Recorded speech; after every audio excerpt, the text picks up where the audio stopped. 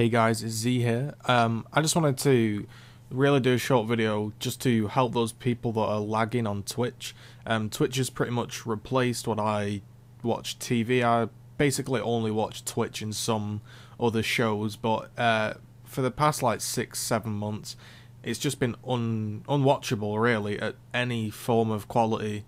Um, and I have BT Infinity. Um, 75 meg with 25 upload. It's pretty much like the best you can get in the UK. It's not throttled because I'm on like a certain package and all that. It's just Twitch. Um, this is the only way I've managed to stop it lagging. Um, I'm not going to say it's going to work for you, but it's helped me, so I thought I may as well just put it out there. Um, it's on the website Team Liquid, which is like a StarCraft Dota website. Um, you just download the Twitch proxy and the Chrome extension um, all you're going to do is you're just going to install the Chrome extension, which takes like one second, and then you're going to just, I just pin the Twitch proxy onto my sort of start menu. So whenever I want to watch Twitch, you just press run on the proxy, it opens up a command box. Then you open up Google Chrome and you go to Twitch and you watch your streams and it just works perfectly.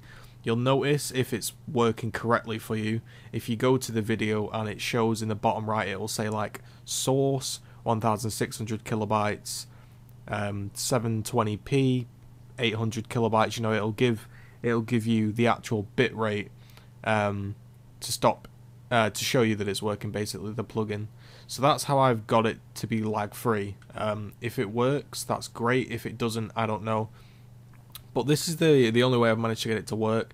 So again, you just install the extension. Each time you want to watch a stream, um, you just load up the Twitch proxy. Basically, when I come on my computer, you just load up the Twitch proxy, and then you just leave the command prompt open, minimize it, whatever, and then you just go and watch streams, and it works absolutely perfectly.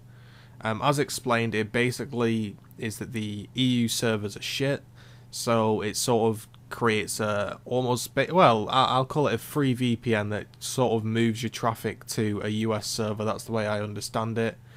Um, this works far better for um, not uh, for partnered streams. If you're trying to watch a non-partnered stream on Twitch, it might still lag, um, but that's just Twitch. Um, but it should work. I've had no problems with it, so I just wanted to share that because I know a lot of people get annoyed with Twitch lag. I certainly do, especially with having good internet. I used to thought it I used to think it was my internet, um, but it it just wasn't because after I upgraded to fiber optic, I'd still lag. So yeah, hopefully that helped. Then you can go and watch your tournaments, your streams without lagging. Pretty sure it works on Firefox as well. Yeah, there's a there's a link of how to get it to work on Firefox. So yeah, hopefully you enjoyed that. Peace. Have a good day.